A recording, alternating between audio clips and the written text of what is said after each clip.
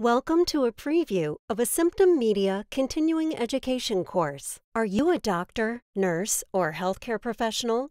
Symptom Media is an online resource of accredited mental health continuing education courses, as well as a video streaming library of over 600 assessment tools, DSM 5 and ICD 10 guided case simulations. As a subscriber to Symptom Media's continuing education collection, you'll have access to dynamic multimedia courses featuring Symptom Media's DSM 5 guided films. Elevate your learning by watching a diagnosis unfold in a high quality patient simulation with real time instructor analysis that highlights symptoms observed, interview and intervention techniques employed, outcomes, and more. Other days I have to get up and pace around, pace around the house, pace outside. Does the pa- moving, the pacing help?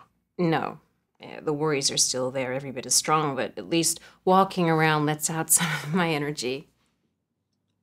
Jennifer identified a number of symptoms and feelings that are associated with her anxiety. She feels paralyzed, she's fearful, she's pacing, she can't sit still. She can't really go out or doesn't have energy or motivation to do much, where she basically just shuts down and says she's stuck on the couch.